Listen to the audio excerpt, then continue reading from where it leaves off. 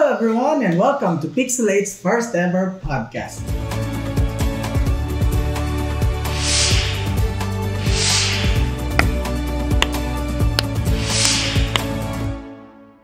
Together with me, we have Nems here, Hi guys. we have Sarwan here, and you have me, Joshua for here. And in this podcast, ang pag-uusapan natin is books na related sa business. Right? So, our very first book na itatakil natin this time is Good to Great. So, ang tanong ngayon is, bakit yung ibang companies nagsisettle sila for good and hindi sila nagsistrive for great? And ang tanong naman na isa is, kung ano yung kailangan mo para yung company mo is mag-transition from good great. So what makes a company great in essence, di ba? So yun ang pag-uusapan natin dito sa series of podcasts na to. So hindi lang po ito isang podcast, kundi magiging siyang series of podcasts na kung saan yung per chapter is pag-uusapan natin each episode. So for the first episode, which is ngayon mismo, ang pag-uusapan natin is a short introduction lang nung book itself. So kung ano yung pinag-uusapan dito sa book, di ba?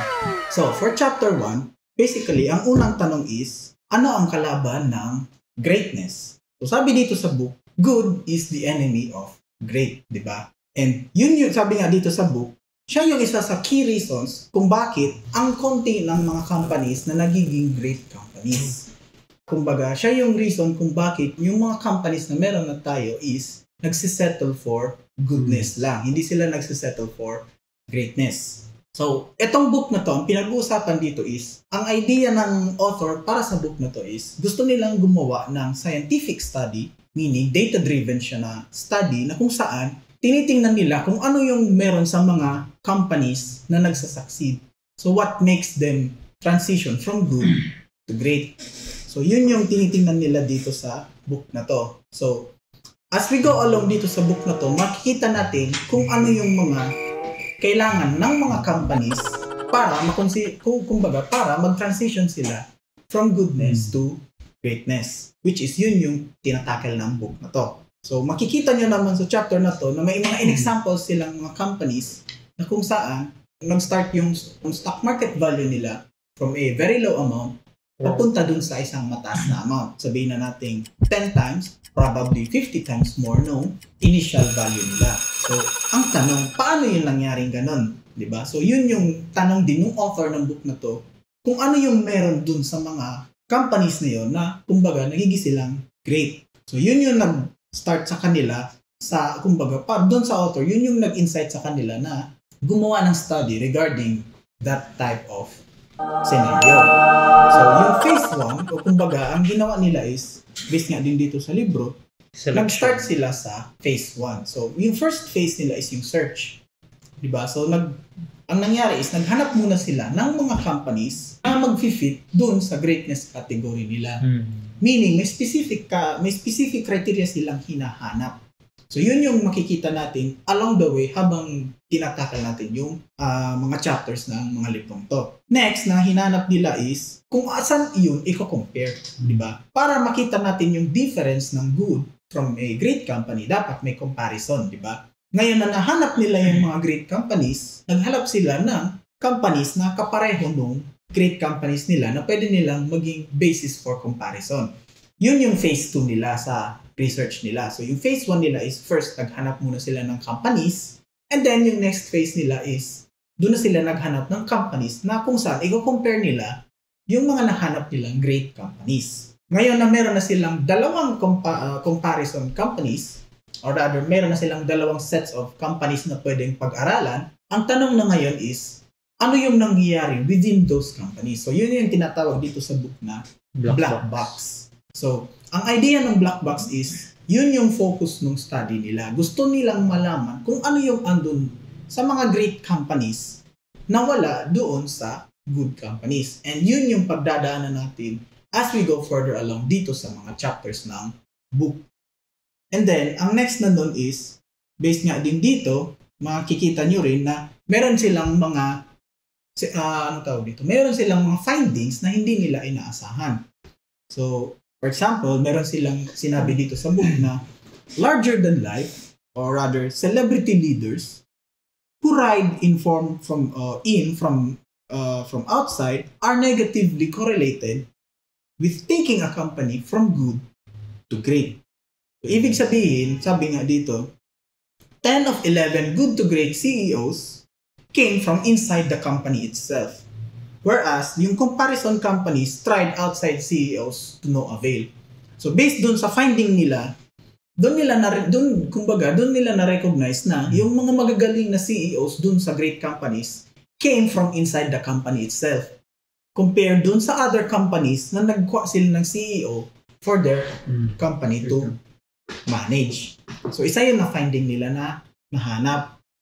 So next, meron din silang sabi dito na wala silang nahanap na systematic pattern na naglilink sa specific forms of executive compensation to the process of going from good Mm. to great. So, ibig sabihin nun, uh, the idea that the structure of executive compensation is a key driver in corporate performance is simply not supported by the data. So, in other terms, ang ibig sabihin lang nitong finding nila is, hindi nagmamatter sa mga, uh, anong tawag dito, dun sa mga executives ng mga great companies, yung sahod as they initially thought. So ang initial ang initial nilang basis uh, kumbaga yung initial nilang ex uh, ano tawag dito, expectation is yung mga magagaling na CEOs or and executive personnel dun sa great- good to great companies matataas ang sahod. Pero wala silang nahanap na systematic pattern na nagpo-prove na ganun ngayon nangyayari. Meaning, meron silang mga nahanap na great companies na kung saan hindi nag-fit doon sa malaking sahod equals magaling na tao. Mm. Rather, meron silang mga nahanap na specific findings na kung saan umabot nga sa point na nababawasan pa sila ng sahod. Or rather, wala na nga silang sinasahod. So, as we go further along dun sa mga chapters, makikita natin yung mga example companies na ganun. Sabi din dito, strategy per se did not separate the good to great companies from the comparison companies. So, ibig sabihin, hindi lang strategy ang basehan dito. Sabi nga dito, both sets of companies had well-defined strategies. And there is no evidence that, that the good to great companies spent more time on long-range strategic planning compared to those comparison companies. So, ibig sabihin, yung both companies, sabi nga dito, pareho silang may strategies. Mm. So, kung pareho silang may strategies, and pareho silang nagsiset ng long-term and short-term strategies, what makes them different? So, meaning, may something else pa na beyond strategy itself. So, yun yung malalaman natin sa ah, sa mga susunod na episodes kung ano yun. And sabi din nga dito, the good to great companies did not focus principally on what to do to become great. So, hindi sila masyadong nagfo-focus sa kung ano yung gagawin para maging great. Rather, ang pinagfo-focusan nila dito, sabi, they focused equally on what not to do, meaning hindi dapat gawin, and what to stop doing. So, they focus on the other way around. So, meaning, nagfo-focus sila sa mga bagay na Bye, Jace. Shoutout nga pala kay JC. Shoutout nga pala kay JC sa aming brand Manager. Sige Baka po. naman. Ay, umalis na. Baka naman sa susunod na episode. Dumaan ang ating 41 manager. inch na screen lang. So, ayun. So, balik ka tayo nun. So, sabi nga dito is, yung good to great companies, mas nag-focus sila sa hindi dapat gawin at sa mga dapat tigilin na gawin instead of Hmm. dun sa mga dapat gawin. So, may key difference siya. Yun yung na-find out nila sa findings nila na mas nag-focus yung great companies sa mga hindi dapat gawin and sa mga Hmm. dapat tanggalin Yep. instead of dun sa mga dapat na gawin nila. Mm. So, mas focus sila on the negative side of doing stuff. So, yun yung sabi dito. And sabi din dito sa findings nila is, technology and technology-driven change has virtually nothing to do with igniting a transformation from good to great. Technology can accelerate a transformation, but technology cannot cause a transformation. Dito natin, kumbaga, doon sa findings nila, masasabi natin na technology itself is not the cause. Rather, technology is the accelerating point. So kung ano yung minimin nun, pag-usapan natin yun sa mga further, ah, sa mga future episodes natin, pag nadaanan natin yung technology. And kung ano yung correlation ng technology sa pagiging good to great. And sabi din dito, mergers and acquisition meaning yung pagkuha ng ah, ng companies and pag-merge ng other companies. Pigs can't, at, ah, sabi dito, play virtually no role, meaning wala siyang cause or ra- wala siyang connection Hmm. in igniting a transformation from good to great. Rather, sabi dito, two big mediocrities joined together never make one great company. So, medyo medyo strong words to. Kung iisipin mo, dalawang mediocrity, pag pinagsama mo, Not big. It's, it's, uh, it makes it all the more mediocre. Kung iisipin, medyo strong to, di ba? He's Pero- right. Pero mag, uh, based din dito sa findings nila and madadaanan din natin to sa future episodes. Sabi dito is pag yung pag yung act ng pag-acquire ng companies or pag-merge ng other companies to your own company does not in itself ignite a change from good to great. So Hmm. meaning, di porket kumuha tayo ng or nag-merge tayo ng other companies into our own company, ibig sabihin, yun na yung magiging catalyst para maging good to great.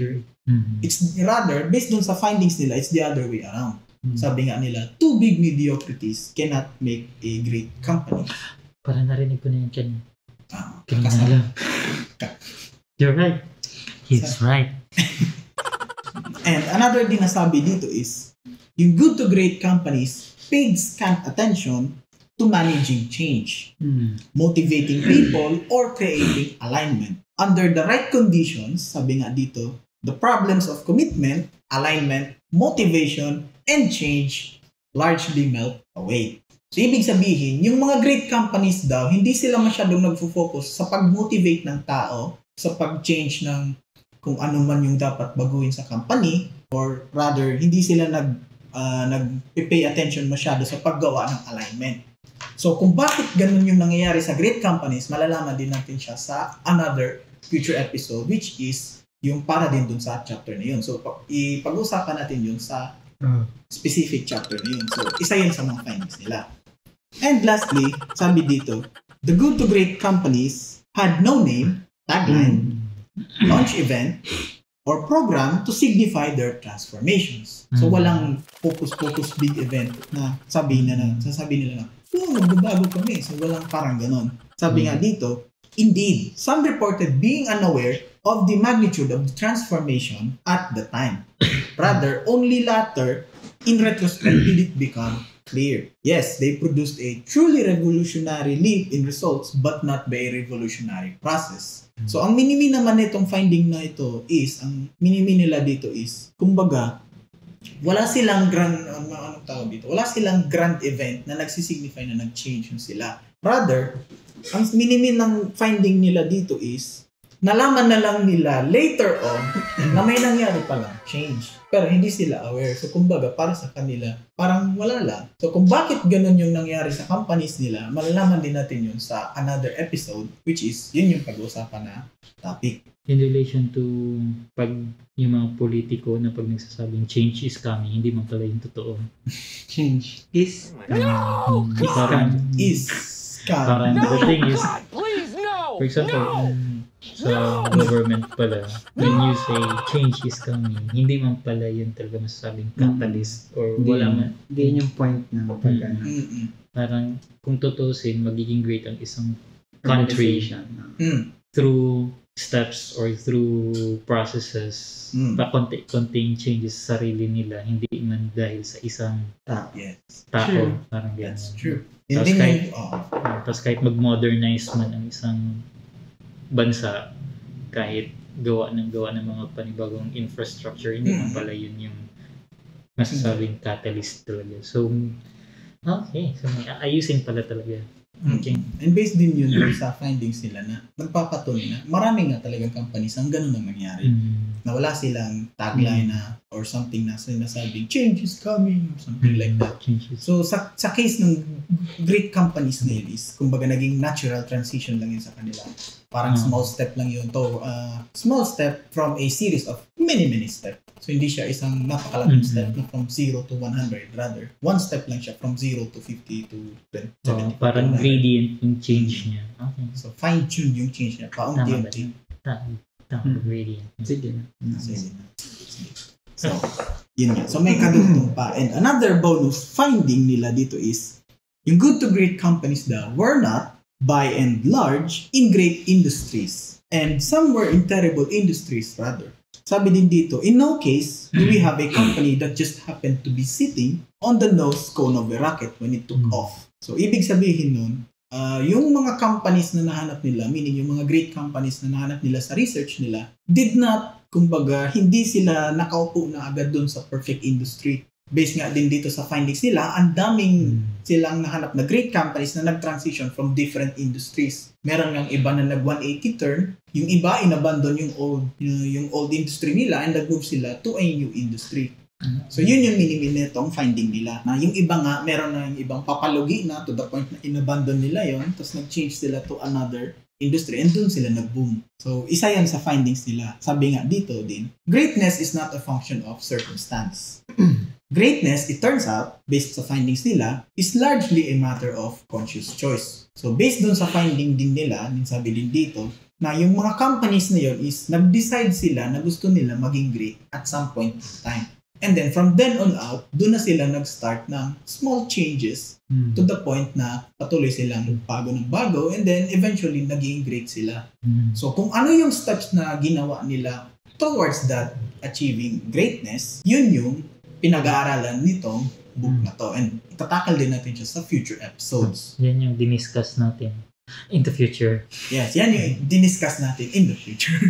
We have, we have discussed it in the future. so shout out nga pala sa future version.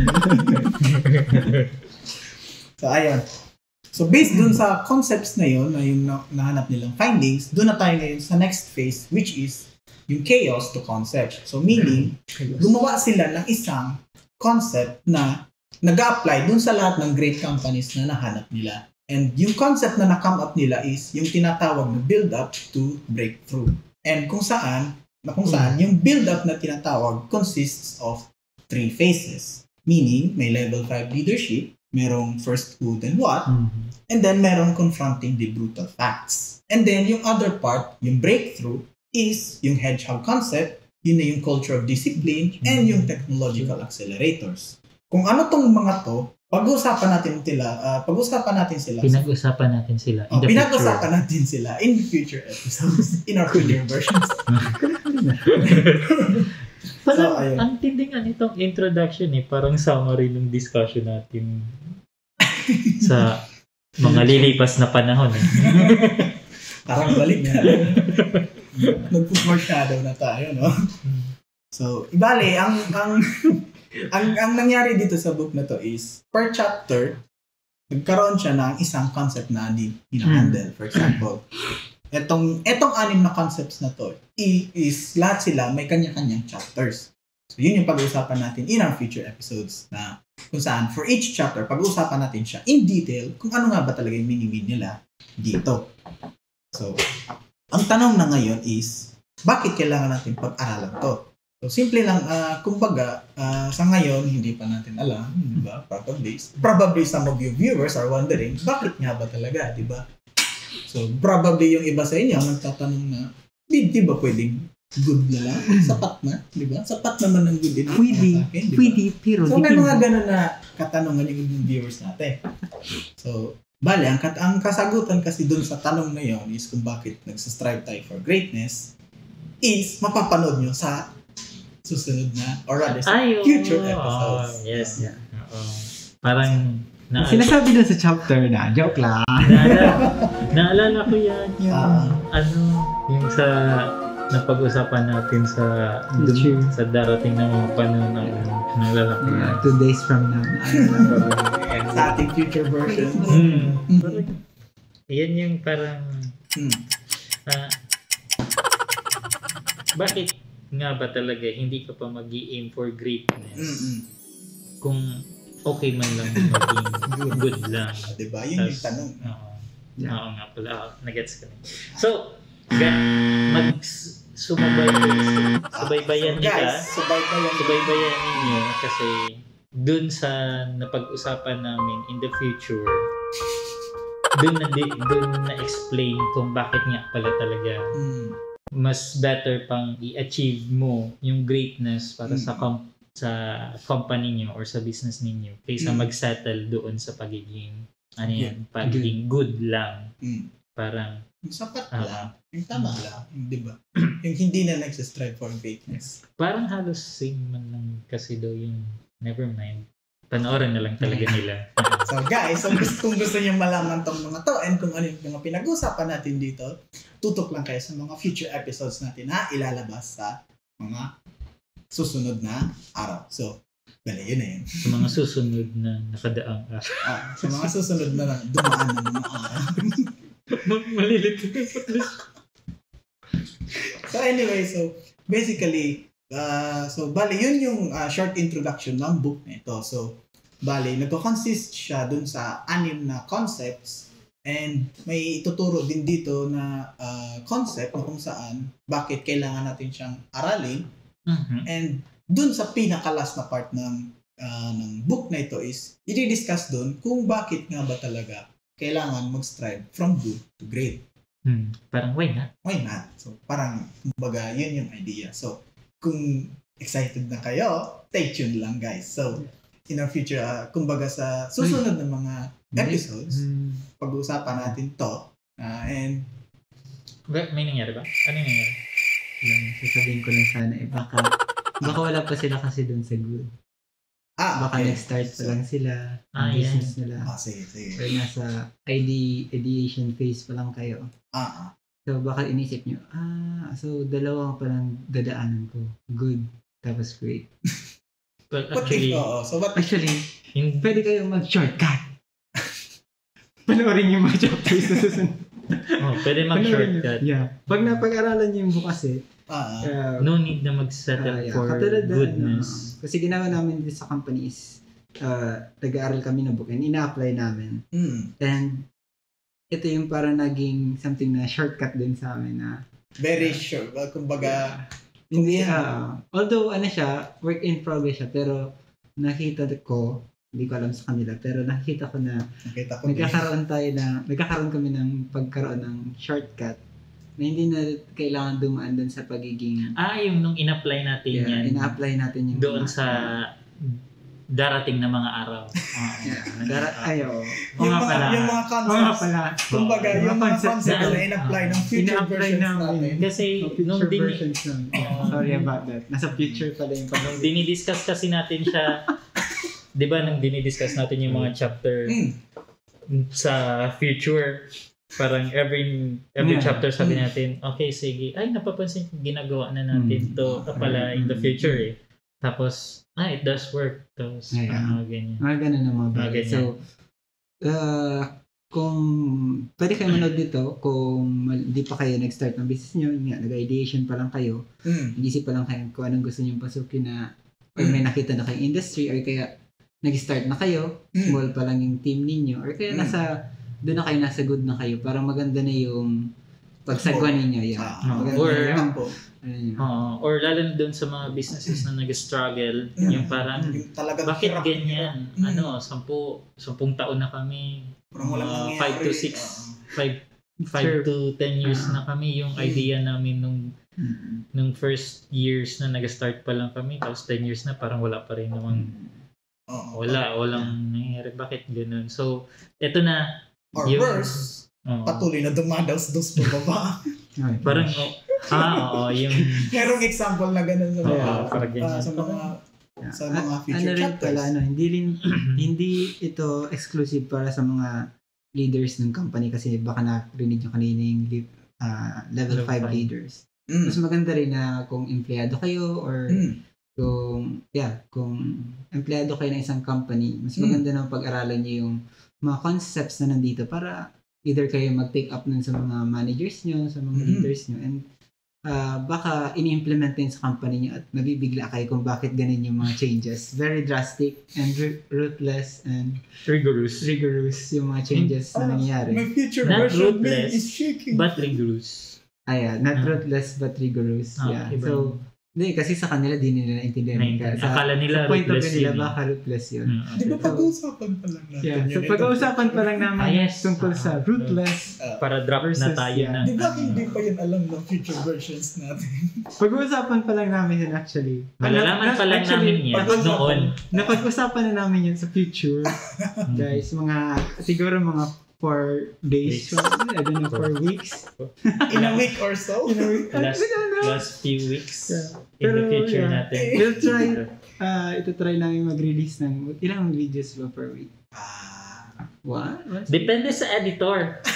Ah, tiwala kami sa Tiwala. wala sa kami sa editor. editor. Yeah. Kaya mo yan. Fighting! Pero yes, ah, yun nga, balik tayo dun sa... Balik tayo dun sa usapan. Oh, palay tayo. Pero yun, ah, either man, either ah, leader kayo ng isang, yan, business ninyo or Mm. employee lang kayo, pwede Mm. niyong, mas maganda mapanood niyo itong mga, mga susunod na mga chapters, ano, pag-discuss namin. Kasi, ah, mas maganda ma-apply niyo rin ito. Yeah. mm. Hindi lang naman, ano to, hindi, actually, ginagawa namin to para makatulong sa inyo habang ina-apply namin sa ano. Kasi, yung mga books Yes. na dinidiscuss namin dito at mga susunod na mga books na i-discuss namin is talagang na-apply namin sa company namin. So, hindi lang sa company, sa sarili namin, sa lahat ng mga aspects ng aming uh, Mm. professional lives. So, Yes. kayo rin sana, maka, matuto rin kayo and yeah. Strive for greatness, guys. Baka ma-renew pa yung ano nila, yung Yeah. parang yung Ah, energy. entrepreneur. Kasi, yeah, baka yung entrepreneur dyan na, nila. ah, Baka burnout na pandemic na kasi wala na, wala na, nagsara na yung restaurant ko, wala na yung Ah. business ko. halos Ano pa kayang 10 gagawin years na ganito pa rin kami. Ganito na kami noon hanggang ngayon 10 years na ganito pa rin. Ano kaya Parang, nangyayari right now? Ngayon, baka magkaroon ng- ganun. Sige, ano na natin. So guys, Baka mag so anyway guys, sana panoorin nyo yung mga susunod Yeah. na episodes natin kasi doon natin pag-usapan yung mga concepts ng pagiging good to great. Watch me, watch me. So, yun muna, kumbaga, hanggang doon muna yung introduction natin. Yeah. Yung susunod na pag-usapan natin is yung level 5 leadership which is yung pinakaunang concept. So, Mm. stay tuned for that guys. So, for this podcast, hanggang doon po muna tayo. So, Bakit siya tinawag na level 5? ah, Ano kung bakit nangyari siya tinawag na level 2, 3, 4. So yun, sana panoorin niyo guys yung mga Yes. susunod na episodes natin. So ang susunod na episode natin na pag-uusapan is yung Level, level 5 leadership. Leaders. So kung ano nga bang talaga yung minimi ng level 5 leadership and kung ano yung role niya in making a company from good Yeah. to great. So Yeah. that's it for this episode guys. So maraming salamat sa panonood. Bye, So, bye guys. see you guys in the next Bye, episode. bye.